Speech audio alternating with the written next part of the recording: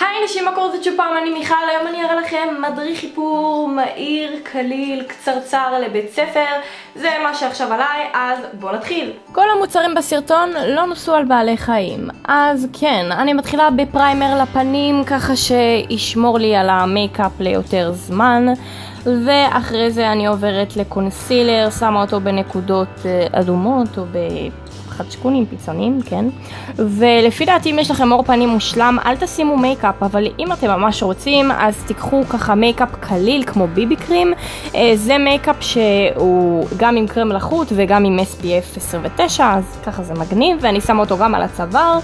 ולוקחת פודרה, אתם יודעים, לקבע את האיפור, שמה בעיקר באזור ה-T, איפה שאני מזיעה, וה...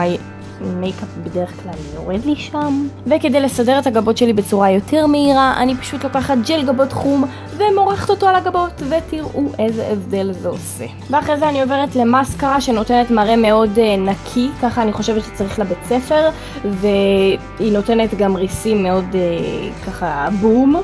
Uh, גם למעלה אני שמה וגם למטה. ובקו המים שהעיניים שלי יראו יותר ערניות אני מורחת אה, עיפרון לבן וסומק אה, קטמטם אדמדם בתפוחים של הלחיים אני לא חושבת שצריך ברונזר זה מספיק סומק. ועם מברשת מייקאפ אני ככה עוברת על זה כי זה היה יותר מדי דרמטי ואני לוקחת אודם שנראה די טבעי. אה, אדום אבל מאוד צבע שפתיים והוא לא כזה אדום, הוא יותר סגלגל ורוד, לא יודעת, הוא מתאים, הוא נראה טוב, וככה זה נראה בלי פילטר. טוב, אז מקווה שנהניתם מהסרטון, ויש לי הגרלה בשבילכם אם אתם רוצים לזכות בפריימר של מלוויז, אמ, שזה luxury makeup base, זה לפנים, מה ששמתי. ויש לנו את הג'ל הגבות אה, של מלוויז, ש eyebrow gel, eyebrow gel, כן.